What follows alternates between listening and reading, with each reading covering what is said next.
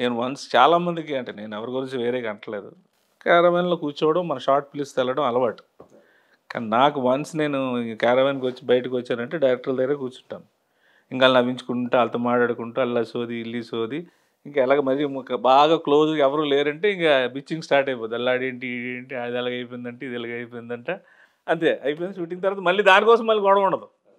మళ్ళీ ఆయన ఫోన్ చేసి నేను ఇలాగ అన్నావు అది ఎలాగ కాదు ఎలాగ అయ్యిందంట ఇది మళ్ళీ ఉండదు. ఆ టైంకి ఆ టైంకి అలా మాట్లాడేసుకోవడం అంతే. మీ కంటిన్యూగా మీ మీ షెడ్యూల్ ఉండి మ్, కాల్ షీట్లు ఉండి ఒక వారం రోజులు. ఎనిమిదో రోజు ప్రభాస్ సీన్ కనుక లేకపోతే సెట్లో ఇబ్బంది పడేవాళ్ళు అంట అంత డైరెక్టర్ ఆనెస్ట్లీ స్పీకింగ్ పదమూడు రోజులు క్యారెక్టర్లు ఇరవై రోజులు అయిపోయి ఇందులో లేట్ కదా సరే పెట్టండి వా, రమ్మన్నాడు షూటింగ్ రమ్మనండి అని ఇట్లాగే నాకు హరిశంకర్ గారు అయితే అసలు బబ్బర్ సింగ్ అంతా నాకు అన్ని రోజులు డేట్స్ లేవు. ఓకే. ఆయన కావాలని పెట్టేవారు. పైగా ఒక ఇంప్రెషన్ నా మీద. అదే. వాళ్ళు దయ అనుకోవాలి నాకు. అంటే బాగా హరీష్ శంకర్ని బాగా మీరు ఎంటర్టైన్ చేసేవాళ్ళు అనమాట మీ కబుర్లతోటి pretty వాళ్ళు స్ట్రెస్లో ఉంటారు సార్. డైరెక్టర్స్ అంటే మనం అనుకుంటాం కానీ పేరు వచ్చిన తర్వాత మనం ఓకే. పేరు రాకుండా కష్టపడే వాళ్ళని రోజు చూస్తాను. వాళ్ళ డ్రీమ్స్ కానీ వాళ్ళు పడే కష్టం కానీ వాళ్ళు చూస్తుంటే మనకి ఎంతో కొంత రాముడికి ఉడత సహాయంలాగా మన వరకు మనం వచ్చినందుకు సరదాగా వాళ్ళని నవ్వించగలిగితే వాళ్ళని ఎంటర్టైన్ చేయగలిగితే వాళ్ళు బాగుంటే ఒక పది మందికి వంద మందికి పని వస్తుంది కదా అనే కాన్సెప్ట్ అంతే. సినిమా ఏదన్నా హిట్ అయిందంటే ఎక్కువ శాతం హీరోలు కొట్టేస్తారు క్రెడిట్. సినిమా ఫ్లాప్ అయితే మాత్రం డైరెక్టర్ మీద పెడతారు కదా. సో అలాంటి ఒక క్రిటికల్ పొజిషన్ అది. అంతే. డైరెక్టర్ డైరెక్షన్ అనేది. అంతే సార్.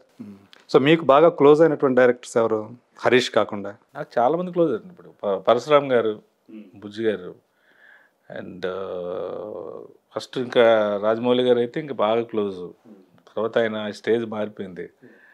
వి వినాయక్ గారు ఇంకందరూ కరుణాకరన్ గారు ఇంకందరు డైరెక్టర్స్ బాగా క్లోజ్ అంటే నేను నా లిమిట్ వరకు నేను ఉంటాను సార్. అంటే తర్వాత ఇంకా మళ్ళీ చాలా పర్సనల్ థింగ్స్లోకి వెళ్ళిపోయి మనం ఏదో ఇది అయిపోతున్నాం అని వాళ్ళకి అది ఉండదు. ఆ సెట్ వరకు వాళ్ళ మూడు వాళ్ళ టైము వాళ్ళు మనకి మన మీద పెట్టే అటెన్షన్ బట్టి మనం మూవ్ అవుతాం. వినాయక్ కూడా బాగా ఎంజాయ్ చేసేవాడు మేము మీ కంపెనీని. ఆ, వినాయక్ గారు అయితే అసలు మేము యోగి టైంలో అసలు ఎంజాయ్డ్ లైక్ ఎనీథింగ్ అసలు. మామూలుగా ఎంజాయ్ చేసేవాళ్ళం కాదు. అసలు యోగి షూటింగ్ అప్పుడు మీ ఇద్దరమే ఖాళీగా ఉండేవాళ్ళం. ఆయన షాట్లో ఉండేవాడు నైన్ తర షాట్లో ఉండేది యూనిట్ అంతా వర్క్లో ఉండేది. వినాయక్ గారు ఆయన డైరెక్టర్ డాన్స్ మాస్టర్ ఉంటాడు సాంగ్ అవుతుంది. సో ఆయన నేను కెమెరా ముందు కూర్చొని మాట్లాడుకున్నాను మన ఇద్దరం ఖాళీగా ఉన్నాం సీన్ ఎక్కడ అనేవారు. అదే సార్ ఏదో? అక్కడే సాంగ్ జరుగుతూ సాంగ్ ఉంటుంది జరుగుతూ ఉంటుంది. మన పనేం లేదు ఏదో ఒకటి జరుగుతూ ఉంటే ఇప్పుడు ఫుడ్ ఇక్కడ సరి సరిపోవట్లేదు. లొకేషన్ చాలా దూరంగా ఉంది. కేఎఫ్సీకి వెళ్ళి అందరికి ఫుడ్ తెస్తే సరిపోద్దని ప్రొడ్యూసర్ అంటే పోనీ ఆ పనైనా చేద్దాం పదా. మనం వెళ్ళి తెచ్చేద్దాం అంటే ఇద్దరం కలిసి వెళ్ళి ఫుడ్ తీసుకొచ్చి యూనిట్కి పెట్టి అది కూడా జరిగింది లెటర్ అస్సలు. వినాయక్ గారు అసలు మామూలు ఎక్స్పీరియన్సెస్ కాదు మాకు. అస్సలు ఇంకా ఆయన ఈవినింగ్ సిక్స్ థర్టీ సెవెన్కి ఆయన మాట్లాడడం మొదలెడితే అసలు ఆ పేరులోని వాళ్ళ మా ఆయన ఉచ్చారణలోని ఉన్న ప్రేమ సేనా ఇట్రా సీనయ్య ఇట్రా ఆయన ప్రభా ప్రభాని ముద్దుగా పిలుస్తారు ఆయన. ఆయన మాట కానీ అంటే ఆయన అంటే మాట్లాడితే టైం తెలీదు. నాన్ స్టాప్గా మార్నింగ్ ఆరున్నర అయిపోయింది తెల్లారిపోయింది అనిపిస్తుంది. అంత దీనికి టైం పాస్ అయిపోద్ది ఇంకా. సో అందరితోటి ప్రతి మీరు ఏ సినిమాకి పని చేస్తే ఆ సినిమా డైరెక్టర్కి ఆల్మోస్ట్ ఒక ఫ్రెండ్ లాగా అయిపోయేవాళ్ళు. అంతే. అదే. సో అందువల్లే మీకు కంటిన్యూగా ఆ సినిమాలు రావటం కానివ్వండి అంటే మీ కంపెనీని కోరుకుంటారు కాబట్టి వాళ్ళు కూడా. పర్టికులర్గా డబ్బులకు ప్రయారిటీ ఇవ్వను సార్. ముందు మీరు కొత్త సినిమా చేస్తే ముందు ఆయనతో నాకు పరిచయం ఏర్పడితే చాలు. ఇప్పుడు డబ్బు అనేది చూసుకుంటే ఇంత ఇస్తే కానీ నేను రాను అనుకుంటే ఒక డైరెక్టర్ నాకు మిస్ అయిపోతాడు. అనే స్ట్రాంగ్ కాన్సెప్ట్. అండ్ అప్పుడులో నా మైండ్ సెట్కి నాకున్న ఫైనాన్షియల్ థింగ్ దానికి ఏంటంటే ఇప్పుడు నేను ఇంట్లో ఉంటే ఇప్పుడు ఇదే ఇంట్లో ఉంటే నేను మార్నింగ్ టిఫిన్కి మళ్ళీ మళ్ళీ మటనో చికెన్కో మళ్ళీ రాత్రి మందుకి మళ్ళీ రాత్రిపూట మళ్ళీ దానిలో మళ్ళీ ఏమైనా చూస్తే ఆ మటన్కి చికెన్కి ఎన్ని లెక్కలు వేసుకుంటే ముందు షూటింగ్ పోతే అది ఇచ్చే పదో ఇరవై ఒకలో ఒక లెక్కతో వెళ్ళిపోద్ది కదా అనే ఫీలింగ్లో వెళ్ళిపోయాడు. ఇంటి దగ్గర ఉంటే ఖర్చు ఎక్కువ. ఖర్చు ఎక్కువే కదా. ఇప్పుడు ఆదివారం పడింది నాకు దోల వెళ్ళిపోద్ది మళ్ళీ మధ్యాహ్నం తెచ్చుకోవాలి మళ్ళీ ఇది రాత్రి తెచ్చుకోవాలి ఫుడ్ పెట్టాలి మళ్ళీ మీ మీ శరీరం ఇంత ఇంత దాన్ని తట్టుకునేదే? ఏమో తట్టుకుంది సార్. ఇప్పుడు నాకు ఈ షటిల్ ఆడతాను.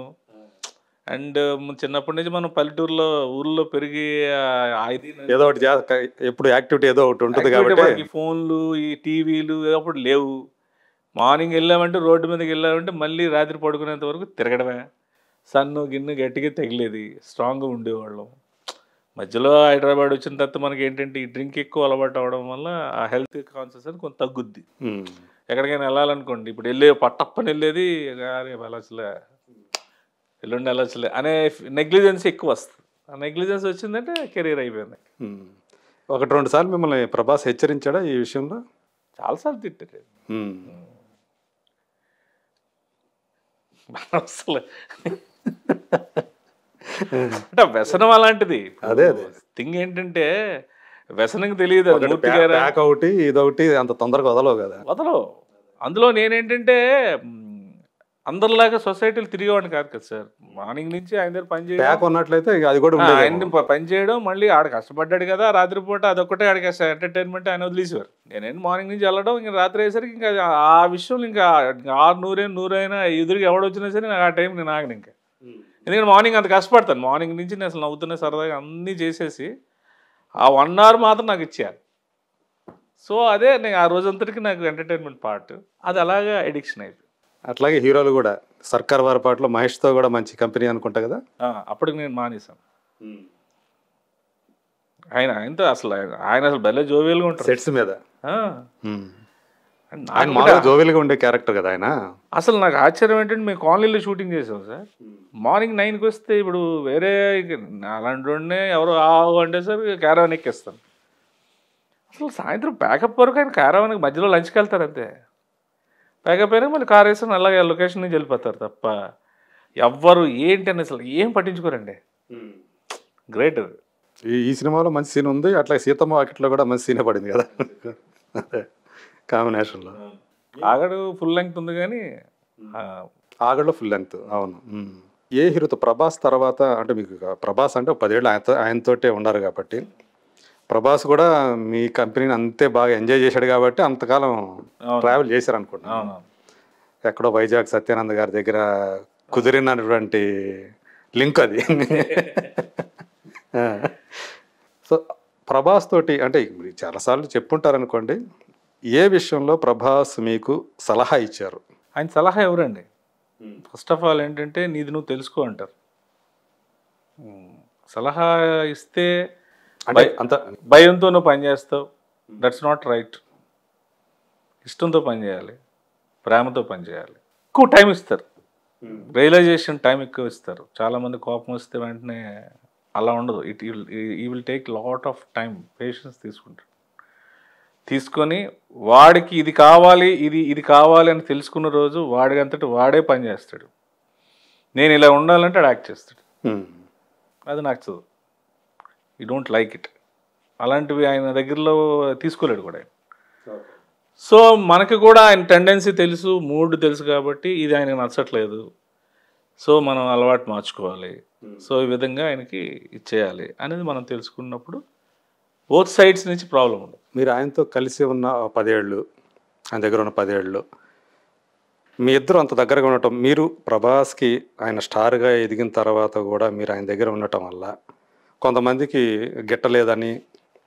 అది డెఫినెట్గా డెఫినెట్గా ఉంటుంది సార్. బాగా పిల్లలతో క్లోజ్ అయితే అమ్మాయి ఒప్పుకోదు. ఇంత పెంచాను ఆడికి ఇన్ని చేశాను వచ్చింది మొత్తం ఇంకా ఆడి ఇష్టం ఆడు. తల్లినే మర్చిపోయాడు ఆడి కేటికి పుత్తడే గుర్తులేదు అది లేదు అంటాం. ఇది కామన్ థింగ్ సార్ అదే. అవి నేను పట్టించుకునే స్టేజ్ నాది కాదు. అసలు ఆయన అసలు అంటే ఎప్పుడైనా ఎవరైనా చెప్పుడు మాటలు విని కానీ ఇంకో రకంగా కానీ. మీ మీద ప్రభాస్ కోపడ్డ సందర్భం అది నాకైతే తెలియదు మీకు తెలిస్తే నాకు తెలియదు కానీ నాకు ఎప్పుడు అలా లేదు. అంటే చెప్పేవాళ్ళు ఉంటారు కదా? ఉంటారు డెఫినెట్గా ఉంటారు. వినాలి కదా మనం ఫస్ట్ మీ దృష్టికి అయితే ఎప్పుడు రాలేదు? నాకు అలాగే మాకు ఎప్పుడు లేదు. మాది ఫెయిర్ రిలేషన్ అండి. నథింగ్ నథింగ్ కాంట్రాక్ట్ బేస్డ్ ఇక్కడ ఏంటంటే ఇది ఇలా ఉంటే ఇలా ఉండాలి ఇలా ఉంటే ఇలా ఉండాలి అనేది కాదు. అదొక నది ప్రవాహం అనేది ఒకసారి గంగా యమున నది ఎక్కడో స్టార్ట్ అలా అని దాటి దాటి దాటి దాటి వెళ్ళిపోయింది అన్నట్టుగా వెళ్ళిపోవడం తప్ప పర్టికులర్ మా ఏరియాకి రా నువ్వు ఇక్కడి నుంచి ఉండమ్మా ఇది మన తాలూకు వాళ్ళది ఇది మన జిల్లా వాళ్ళది ఇది లేదు. ఈ కండిషన్స్ నామ్స్ మాకు లేవు. అది ఎప్పటికీ లేవు ఇప్పటికి రావు. ఎందుకంటే నాకు సిస్టమ్ తెలియదు అదే. అంటే ఎప్పుడు మీకు ఇంకా చాలు అనిపించింది? అంటే మీరు వదులుకున్నారా? లేకపోతే ఆయన వదులుకోవడం అంటే వదులుకోవడం కాదు సార్. ఇప్పుడు నేను వరుసగా సినిమా షూటింగ్లో బైజ్ అక్కడ ఎక్కడ అక్కడ ఎక్కడ ఎక్కడ ఉంటాను. ఆయన వర్క్స్ ఇప్పుడు మీరు వస్తున్నారు రేపు మార్నింగ్ నా టెన్ థర్టీకి మూర్తి గారితో మీటింగ్ ఉందని అంటారు. నేను అప్పుడు ఏం చేయాలి? నేను పలానా దగ్గర ఉన్నాను. ఇక వెంకటరావు నువ్వు వెళ్ళి సార్ మూర్తి గారు వస్తారు కలిసి వస్తే ఒకసారి. అని నేను చెప్పలేను కదా. So that is the communication between these two అది కొంచెం కాంప్లికేషన్ అవుతున్నప్పుడు దెన్ ఐ డిసైడ్ నేను డార్లింగ్ నేను చేసుకొని వచ్చేస్తాను. షూటింగ్లు ఎక్కువ ఉన్నాయి. కొన్నాళ్ళు నేను ఇది కూడా చూసుకొని వస్తానంట. లైట్ నీకు ఇంట్రెస్ట్ ఉంది కదరా సత్యానంద్ గారి దగ్గర ట్రైనింగ్ అయినా కదా నువ్వు యాక్టర్ అవుదామని వచ్చావు కదా ఇక్కడికి. చెయ్యి చూసుకో నీకు ఎంత బాగుంటుంది. నీకు మరీ నచ్చకపోతే నువ్వు నా దగ్గర నేను ఎక్కడికి వెళ్తానని ఆయన. Okay. That is the thing అట్లా మ్యూచువల్గా? మ్యూచువల్గా అంతే తప్ప ఎవరో ఏ టైంలో అది జరిగింది? మిర్చి తర్వాత. మీరు లాస్ట్ సినిమా చేసింది కూడా మిర్చి తర్వాత మిర్చి ప్యారలాల్ షూటింగ్ జరిగింది. నా గబ్బర్ సింగ్. గబ్బర్ సింగ్ రిలీజ్ అయినాక I'm very busy okay. So అవుట్డోర్లు అటు ఇటు తిరగడాలు ఇవన్నీ మాకు ఆర్టిస్ట్గా ఉంటాయి కాబట్టి అవన్నీ మనం చేయాలి. ప్రభాస్ దగ్గర ఉన్న కాలంలో మీరు సినిమా ఛాన్సులు కోల్పోవటం అట్లా జరిగింది? చాలా చెప్పాను చాలా. సో ఈయన దగ్గర ఉన్న టైం ఇక్కడ ఉండ ఉంచాలి కాబట్టి ఈయన కోసం కేటాయించాలి కాబట్టి. ఇటు అటు ఉంటాయి సార్. లేకపోతే ఈ పాటికి ఇంకా ఆల్మోస్ట్ అది అది అక్కడతో ఆరింటితో వెళ్ళిపోయేవాడిని వెనక్కి ఇన్ని సినిమాలు చేసేవాడిని కాదు. అదంతా నాకు తెలుసు సో ఆ తర్వాత కూడా మీ ఇద్దరి మధ్య రిలేషన్ అనేది ఎలా ఉంది? ఎప్పటికీ ఉంటుంది. ఇప్పుడు మేము స్టార్ట్ చేసింది ఇలా చేస్తే ఇలాగ అవుతావు అలా చేస్తే ఇలాగ అవుతావు అనే రిలేషన్ కాదు అది. ఆయనతో పాటు వెళ్ళిపోవడమే. అంటే ఆయన ఫ్యామిలీలో ఒక మెంబర్ లాగే అంతే. ఉండేదే ఇప్పటికీ కూడా ఉంది అది. అప్పుడంటే ఆల్మోస్ట్ వాళ్ళ ఫ్యామిలీ మెంబర్ లానే ఉండేవాళ్ళు కదా. ఈవెన్ కృష్ణరాజు గారు కూడా మిమ్మల్ని అలాగే ట్రీట్ అనుకుంటాను ఇంకా ఆ ఫ్యామిలీ ఇంక అందరు అంతేనండి. ఆయనకి ఆయనకి ఆయన మనిషి అంటే ఫ్యామిలీ అందరూ కూడా ఆయన మనిషిలాగా చూస్తారు. ఇప్పుడు ఆయన దగ్గర పనిచేసిన కొత్తగా వచ్చిన అసిస్టెంట్ అంటే వాడికి ఇవ్వాల్సిన గౌరవం వాళ్ళకి అలాగే అందరూ ఫ్యామిలీస్ అందరూ. వాళ్ళకి అది ఆ కల్చర్ ఉంది. సో కృష్ణరాజు గారు వెళ్ళిపోవటం అనేది ఆ ఫ్యామిలీకి పెద్ద దెబ్బ కదా. మీకు మీరు మీరు పర్సనల్గా రా కృష్ణరాజు గారితో ఏమన్నా ర్యాపో ఉందా? ఏమన్నా జ్ఞాపకాలు ఉన్నాయా కృష్ణరాజు గారితో ఆయనతో ఎప్పుడు కూడా వచ్చినా నాకు మంత్రి అనేవారు. మంత్రి. కొడు ఆయన కొడుకేమో రాజు. రాజు. ఉమ్, "ఉమ్, మంత్రి. రా ఏంటి? ఏవో వాగుతావు కదా వాగు. ఆడి మీద అనకు. నాకు చిరాకు. మరి వాగుతావు కదా వాగు అంటారు ఆడి మీద అనకంటే నేనేం మాట్లాడాలి సార్ అన్నాను న్యూస్ చదవాలా అన్నాను అది కాదు వేరే చెప్తాను అని చెప్పేవారు. ఆయన ఎక్స్పీరియన్స్ చెప్పేవారు. వాటికి మేము కౌంటర్లు. దీపావళి ప్రతి దీపావళికి వచ్చేవారు. అందరితో పాటు మేము మా ఫ్యామిలీస్ ఫ్రెండ్స్ అందరు ఫ్యామిలీస్ అందరం కలిసి దీపావళి సెలబ్రేట్ చేసుకునేవాళ్ళం ఇంకా ఆయన పెద్ద ఆయన ఆయన స్మోక్ పడదని చెప్పి ఆయన సపరేట్ కుర్చీలో కూర్చునేవాళ్ళు మేము ఇంకంతా ఆడుకునేవాళ్ళం. ఆ తర్వాత ఫుడ్ ఇంకా అసలు చాలా అంటే ఆయనతో ఏంటంటే మాకు భయం కదా. అంత దీనిగా నేను ఒక్కడనే కొంచెం కొంచెం కోతి టైప్ కాబట్టి మెల్లిగా ముందుకెళ్ళిపోయి ఏదో మీదుగా నా మాటలు ఈ మాటలు ఆడేసి చేసేవాడిని తప్ప బేసికల్గా భయం మనకి. అండ్ సూర్యనారాయణ రాజు గారితో నాకు యాక్సెస్ ఎక్కువ. మెయిన్ నాకు ఆయన బాగా. ఇంకా ఇంకా ఆల్మోస్ట్ మార్నింగ్ లెగిసి నేను మాట్లాడే ఫస్ట్ దేవుడు దేవుడు దండం పెట్టుకుని వెళ్ళి మాట్లాడేది ఆయనే నాకు. సూర్యనారాయణ రాజు గారు. ఉమ్. సో ఇప్పుడు ఇద్దరు అన్నదమ్ములు ఇద్దరు లేరు. ప్రభాస్ అనుష్క సంబంధించి మనకి చాలా చాలా కథలు తెలుసు. ఈ ఈ మధ్య ఫ్యాన్స్ అనేవాళ్ళు వాళ్ళిద్దరికి పిల్లలు కూడా పుట్టినట్టుగా క్రియేట్ చేసేసి గ్రాఫిక్స్ తోటి ఇవన్నీ సర్క్యులేట్ చేయటం ఇవి చూస్తుంటే మీకు ఏమనిపిస్తుంటుంది మీడియా పెరిగిపోయింది. తులసి చూసే కొత్త తులసి నాకు తల్లి లాంటిది. నాకు రాశారు. నేను మీతో ఈ గోడు వినిపించుకోవాలా?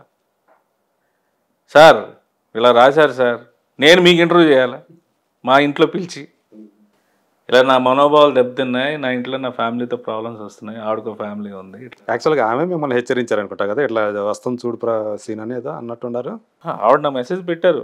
ఇట్లాంటివి వస్తాయి మీడియాలో చాలా వస్తాయి. First of all you should tell the fact of this to your wife అంటే మీరు కలిసి ఇంటర్వ్యూలు ఇవ్వటం? అది జరిగింది యాక్చువల్గా ప్రమోషన్ కోసం ఇచ్చిన ఇంటర్వ్యూ. అది మా పాపం వాళ్ళకి మరి టీఆర్పీ రేట్లు లేవో లేకపోతే ముందు రావాల్సింది నాలుగు వీకుల తర్వాత వచ్చింది. ఆ తర్వాత మన అల్లు శిరీష్ గారి సినిమా ప్రమోషన్స్లో ఒక వీక్ వెళ్ళిపోయింది. ఆ తర్వాత ఇంకో అనుకోని ప్రయాణం ఒక సినిమా కోసం వచ్చిన ఇంటర్వ్యూ అది ఆలీ గారితో. Next week release